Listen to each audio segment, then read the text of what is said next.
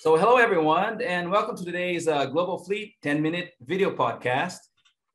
Although many of you already know, I will briefly tell you about Holman Enterprises. So it's uh, the US based company and it covers many aspects of the automotive industry. So including parts and distribution, fabrication and upfitting dealerships, in addition to vehicle leasing and fleet management through ARI. So recently, the group has appointed key leadership positions in the company's newly created Holman commercial team. And shedding light on this and other things today is Rick Tousaw, the company's newly appointed Executive Vice President and Chief Commercial Officer. So hello, Rick. How are you doing hello, today? Daniel. I'm doing great. Thanks for having me. Okay, so we're just gonna have a few questions for you here. Um, before we start, so I need to address this headline that hit the papers not too long ago. So Wheels and Donlen merged. Um, I don't know, were you, were you surprised? And briefly speaking, I don't how, how do you think it will impact the market? Yeah, no, thanks for asking. No, it's uh, there was I think two weeks in a row where we saw some pretty big announcements within the fleet industry.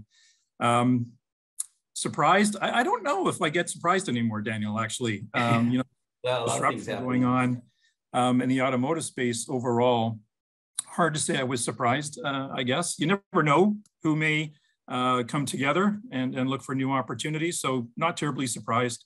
Um, yeah, it's, it's a big undertaking, right? Merging two uh, very significant companies. We obviously at Fleet Industry is a fairly small industry and we know, uh, we know people, industry colleagues at both companies.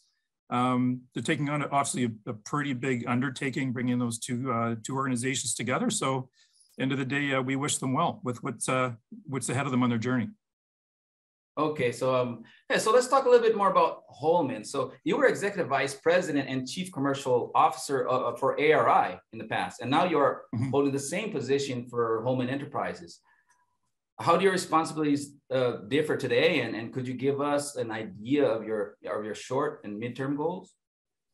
Sure, no, no problem. Yeah, it was similar title, um, but as you, you, had a pretty good setup there for Holman at the beginning. And, you know, my role um, before was pretty much focused on the fleet side. So pretty much focused on fleet outside of the US. I had just come out of leading the Canadian business. Um, I the border of our joint venture in Mexico, uh, which I still do today. And I've been supporting our new businesses or newer businesses, I guess, in the UK and Germany in terms of their business development efforts as well as um, being one of the ARI representatives along with Rob Hill on our GFS mm-hmm. board. That's primarily where my focus was. That was uh, a couple of years ago. I then transitioned to uh, the chief marketing officer for Holman. So that's what I've been doing pretty much the last couple of years. So I was bringing a few different marketing departments together into one team. And now um, this commercial group is really sitting across all of the organizations that you just mentioned in your opening. Um, so includes the disciplines of marketing, market and product development, and customer experience. Um, in terms of you know some goals, uh, really you know the, this group has come together with a purpose of uh, you know looking for opportunities. It's a forward-looking group. It's all about growth uh, through this disruptive market. It's ensuring that we're guiding our business customers um, to make sure that you know we're strong, we're focused on the right things. If we see an opportunity, how do we accelerate bringing that opportunity to market? Bringing some great greater discipline maybe to our uh, product and service uh, um, opportunities, development opportunities. And all of these have the customer in mind. What's that end customer experience that we're trying to create? You know, we all talk about trying to remove friction and and doing uh, being easy to do business with, and that remains fundamental to all the things that we would work on as a team.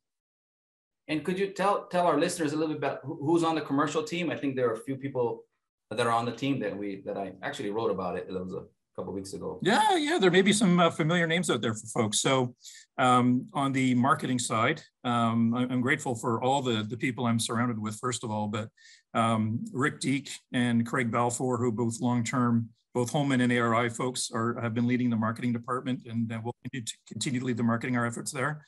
Um, Denise Wildish, who's been with ARI for I think more than 25 years. I don't want to date her, um, but uh, tons of experience on the customer facing side. She has been our champion of the voice of the customer for many years and led our client advisory board on ARI. She now sits on top of client experience for all of Holman. And then uh, Joe Foster, who some folks may be familiar with, he, uh, he came to us and really through the auto truck business. um, and then into ARI. He's going to be leading our team around market and product development with a really near-term focus, as to no surprise to a lot of people, on making sure that we are organized effectively around the conversations on electrification.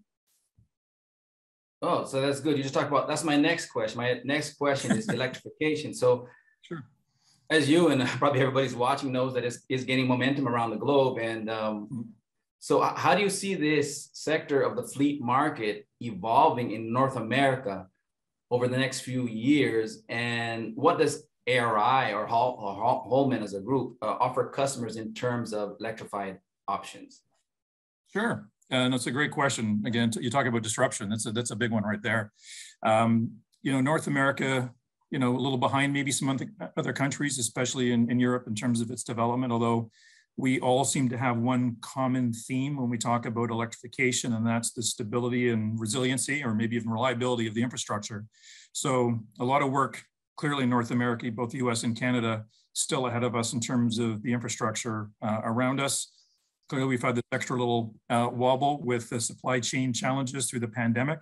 So making sure that we get to a point where, you know, asset availability, broader asset availability for our customers is, uh, is out there in terms of what's, what they need to consider, what's fit for purpose. And, you know, we manage um, of, of all the units under our management, it's everything from a, you know, a sales vehicle, a traditional car, up to the heavier upfitted trucks. And you know, our responsibility under the headline, I guess, of sustainability is to make sure that those vehicles are fit for purpose. And I think, you know, while the near-term focus is around electrification, we have to keep an eye on other options um, that are sustainable. It could be one of the natural gases, it could be something like hydrogen down the road, um, but they need to be fit for purpose. Um, in terms of what we are doing, I think we're doing a lot of things that our that our friends in the industry are doing, and that's really ramping up our our competencies and our capabilities about how we support um, our our customers and our prospective customers on that journey to carbon reduction and sustainability. You know, there's a there's some big shifts out there. There's a lot of new conversations. There's new players. Um, the ecosystem is going to look very different than what they're used to, and there's going to be some big changes in terms of driver behavior uh, when you're prepared to get into an electrified vehicle versus just going down and think you could fill up your vehicle uh, on the way to your job. So there's a whole, you know, there's a whole bunch of things that we're working on to try to simplify that conversation and, and help our customers along, both from this high level strategic conversation right through to what the execution looks like over the next few years. Okay, well, yeah, there's a lot of information, a lot of interesting stuff and insight yeah. uh, that he gave us, um, Rick. I don't know. I had one more question, but I don't know if we have time. If you can say it in maybe like uh, 30 seconds or so, um, what other ways do you see corporate fleet or even mobility evolving in North America in the coming years, uh, briefly speaking, besides electrification? Um, well, it's a great question too. It'll be interesting to see. I think a lot of us has, have learned, and a lot of our customers have learned um, how to be productive, actually having people on the road or people flying. Uh, we've leveraged, like you and I are today, leveraging technology. And we've seen increases in productivity by people not necessarily getting into a car or getting into a train or a plane to do their job. So I think a lot of us are very interested with the impact on technology is going to have on mobility in general, shared or future. Um, so I guess we'll have to see how we all come out and what the new normal is going to be, you know, looking like and how we're all impacted. But greater focus on mobility in general, I think, especially in very dense urban markets, I think is going to be a big focus in the yeah, next few years. It's seems like it's going that way. Well, yeah, I guess about we're running out of time, but I appreciate your time, Rick, and um, thanks for all the insight. Uh, and just for those over there uh, are outside there are watching, uh, don't forget to stop by, of course, globalfleet.com for more insight on the fleet and mobility industry. And last but not least, mark your calendars. So Global Fleet Conference 2022 will be taking place in Rome, face to face um, good to be back face to face, and it will take place from the 16th to 18th of May. So see you then. Thanks, Danielle. Thanks for having me. Look forward to seeing everybody in Rome next spring. Great. Thank you.